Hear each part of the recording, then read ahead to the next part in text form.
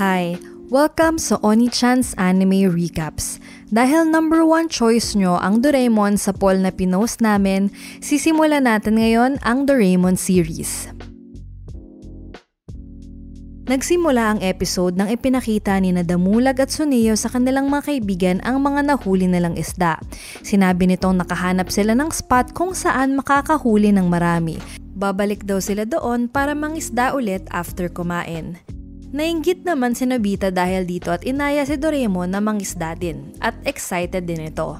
Habang nanananghalian, hindi naman pumayag ang ina ni Nobita dahil siya daw ang tipo ng taong nadadapa at tumitilapon sa gutter kahit naglalakad lang sa kalye. Dahil dito, hindi siya pwedeng pumunta sa ilog. Nag-agree naman dito si Doraemon. Sa kwarto, nalungkot si Nobita sa di pagpayag ng kanyang ina dahil nais niya daw talagang masubukan na makahuli ng maraming isda. Bigla namang naisip ni Doraemon na meron siyang roll-up fishing hole gadget. Nagulat si Nobita dahil naging tubig ang papel. Ngayon, nasa bahay na daw nila ang ilog ani ni Doraemon. Nagmamadali naman ang dalawa upang kunin ang fishing poles pero pinaalalahanan sila na huwag pumunta sa ilog. Sagot naman nila na hindi raw sila pupunta doon. Nagpaligsahan ng dalawa sa kwarto sa kung sino ang mas maraming mahuhuli na isda. Ngunit matapos ang ilang segundo, nainis na agad si Nobita dahil wala siyang mahuli. Tinuruan naman ito ni Doraemon na maghintay. Parte daw ng pangingisda ang pag-upulang at paghihintay. Sinilip ni Nobita kung meron ngang mga isda doon sa ilalim at nakitang madami nga. Sinisi naman niya sa gadget ni Doraemon kung bakit hindi sila makahuli kahit na may isda sa ilalim. Sagot naman nito na napakadali daw nitong ipasa ang sisig gayong ang katotohanan ay hindi ito marunong mangisda. Kaya't humanap siya ng ibang gadget sa bulsa. Ipinakita niya ang handhook at sinabing kapag nalocate nitong isda ay automatic na nitong huhulihin ang isda para sa kanila. Gumana nga ito. Hindi nagtagal, umaapaw na ang kanilang balde sa dami ng kanilang huli. Tila may nahuli naman si Nobita na sobrang laking isda kaya tinulungan siya ni Doraemon na hilayin ito. Nagulat sila nang makita ang isda pala ay nahuli na ni Damulag at nasama ito sa paghila nila. Dali-dali namang sinara ni Doraemon ang roll-up fishing hole gadget. Pagkabalik ni Damulag sa ilog, sinabi nitong tila nahila ito sa ibang lugar ni na Doraemon at Nobita. Tinawanan naman siya ni Suneo dahil dito. Balik sa kwarto, nilipat naman ni Doraemon ang pwesto ng kanyang gadget at nagsimula na ulit ang dalawa ng mga isda. Ngunit matapos ang ilang sandali, nagulat sila na wala silang mahuli. Nilublob ni Nobita ang kanyang muka upang tignan kung may mga isda nga at nakitang masyado palang mababaw ito. Naisip naman bigla ni Nobita na pwede silang mangisda gamit ang gadget na yon sa karagatan kaya't pinakausapan niya ang kaibigan na pumunta dito. Nag-agree naman si Doraemon at sinabing mas marami silang makukuha doon. Sinilip ni Nobita ang ilalim at nakitang napakaraming isda doon. Pinaalalahanan naman ito ni Doraemon na mag-ingat dahil delikado kapag nilaglag siya dito. Kaya't kinuha niya ang deep sea cream na kailangan lang daw ipahid sa buong katawan para maging safe ito naman ang mangyari. Inilabas rin ito ang air tubes na ilalagay sa ilong para makahinga kahit nasa ilalim ng tubig. Ipinahid ni Nobita ang cream sa kanyang katawan at naisip na kung meron na silang ganun, pwedeng tumalo Na lang sila mismo sa tubig, kaya't lumangoy ang dalawa at doon ng isda sa ilalim. Inilabas ni Doraemon ang big light para lumaki ang kanilang hook at mas maraming mahuli na isda. Gayunpaman, pating ang nakuha ni Nobita. Mabuti na lang at nakataka sila nang maipit ito sa bato. Nakakita sila ng lumubog na barko at naisipang tignan kung may treasure sa loob nito. At totoo nga, nakakita sila ng treasure chest sa loob. Ngunit pagbukas nila nito, isang octopus pala ang laman at nakuha sila. Sinubukan nilang makatakas at bumalik sa kwarto ni Nobita, gayon pa man, sinundan sila nito doon. Naisip ng Doraemon na ikutin ang dial ng roll-up fishing hole kaya't biglang nawala ito. Sinilip namang muli ni Nobita ang ilalim at napansin na mainit ang tubig nito, kaya't naisip nila na maaaring hot spring ito at na-excite. Sumisid sila at nagulat na umangat sa tubig ay bathtub pala ito ni Shizuka na naabutan nilang naliligo. Binato naman sila ni Shizuka tinawag na pervs. Naiinis ang nanay ni Nobita sa kalat ng kanyang anak kaya tinawag ito. Pero nagulat ito nang may biglang lumabas na monster sa likod niya. Prinank pala siya ng anak na si Nobita gamit ang monster ball. Habang ginagamit niya ito sa kwarto, umakyat naman ang nanay niya para pagalitan siya pero bigla na lang itong nawala. Nagtago pala ito sa time machine sa loob ng kanyang drawer. Pagka-uwi ni Doraemon, kwinento ni Nobita ang prank na ginawa niya sa kanyang ina pero pinagsabihan siya nitong huwag gamitin ang mga gadgets sa ganong paraan. Isa pa, may dahilan naman daw kaya't napapagalitan ito. Nagulat siya nang makitang naiwan ni Nobita ang pinto papunta sa time machine. Sinilip ito ni Doraemon at nagulat nang makitang nawala na pala ang time machine. Dahil nakalimutan ni Nobita ang break, maaaring napunta na raw ito sa ibang panahon. Napaiyak si Doraemon dahil kung wala raw yon, hindi na siya makakabalik sa future. Nagilty naman si Nobita at napaiyak din dahil sa kapalpakan nito. Pinakalma siya ni Doraemon at sinabing tulungan na lang siyang mag-isip ng paraan kung paano ma-recover ito.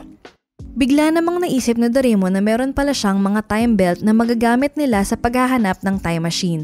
Sa tulong ng time sensor, matatrack nila kung saan ito napunta. Umalis na ang dalawa at naglakbay at dinala sila sa panahon kung saan tila wala pang tao sa Japan. Natuwa si Nobita nang malamang yon ang eksaktong lugar ng bahay nila. Naisipan naman nilang gamitin ang tachycopter para maglibot sa lugar ngunit wala silang makitang village na pagsistayan. Nalobot naman bigla ang gamit nilang gadget, buti na lang at may extra pa si Doraemon.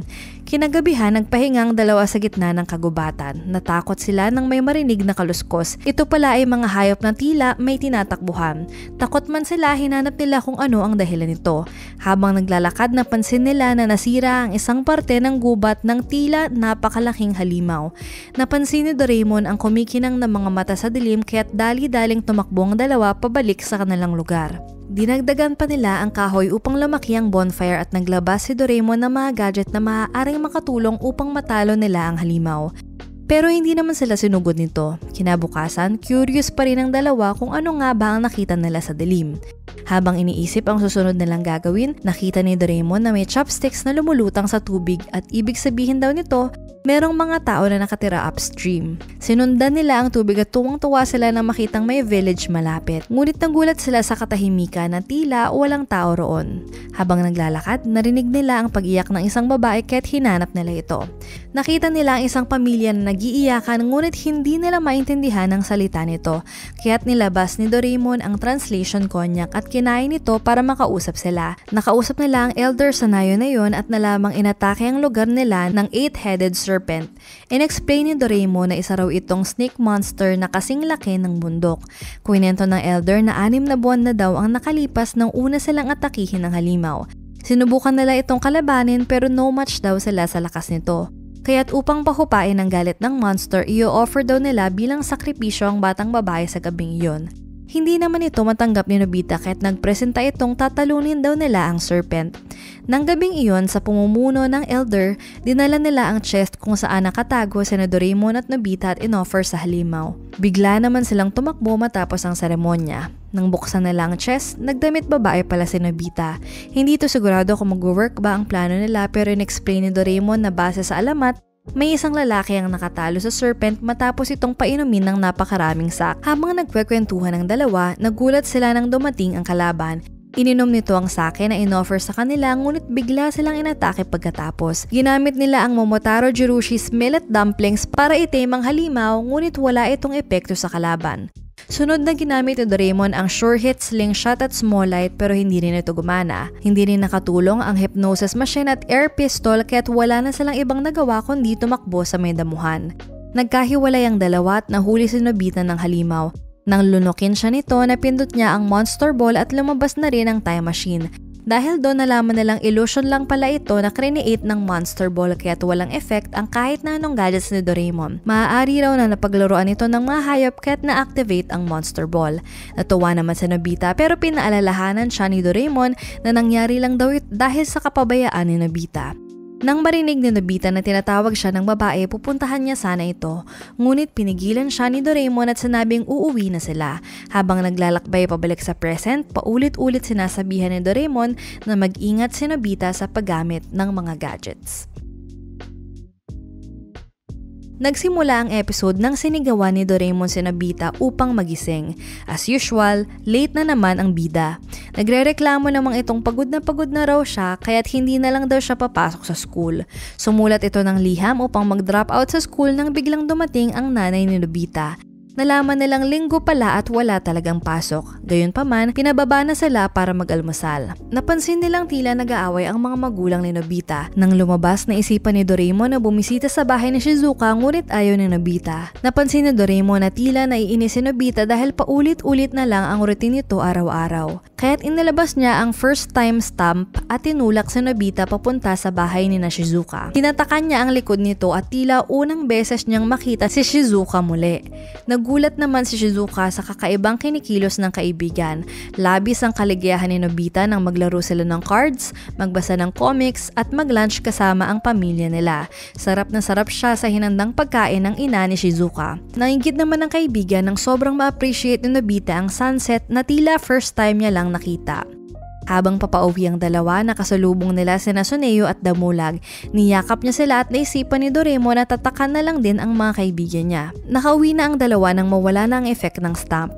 Nagulat sila nang maabutang nag-aaway pa rin ang mga magulang ni Nobita kaya't naisip ni Doraemon na gamitin ng first time stamp sa kanila. Bigla namang nagiba ang mood ng dalawa at naging super sweet sa isa't isa. Hindi naman makatulog si Nobita ng gabing iyon at naisip ano nga ba ang pakiramdam niya noong unang araw niya sa school. Naisip niyang i-check ito gamit ang time machine kaya't nag-travel siya pabalik sa unang araw niyang papasok. Nagulat siya na makita ang batang Nobita na sobrang saya at excited na pumasok sa school. Natuwa rin ang mga magulang nito dahil sa excitement ng anak. Sumunod na araw, sumigaw muli si Doraemon upang gisingin si Nobita pero nagulat ito na naunahan pa siya nito. Tatatakan niya sana ulit ito pero pinigilan siya ni Nobita at sinabing hindi niya na daw kailangan yon. Sa pag-aakalang tinatamad na naman si Nobita, sinumbong ito ni Doraemon pero nagulat sila nang makitang nakabihis at nakahanda na si Nobita para sa school. Napaiyak si Doraemon sa sobrang tuwa pati na rin ang mga magulang nito. Dahil iniisip na lang first time niya itong papasok, sinundan nila ito papasok ng eskwela. At doon nagtapos ang anime recap natin sa araw na ito. Alin sa mga gadget ni Doraemon ang favorite mo? Let us know in the comments below. Huwag mo rin kalimutang mag-like at subscribe at pindutin mo na rin ang notification bell below para ma-update ka sa mga susunod naming uploads. Salamat sa panonood. Oni-chan!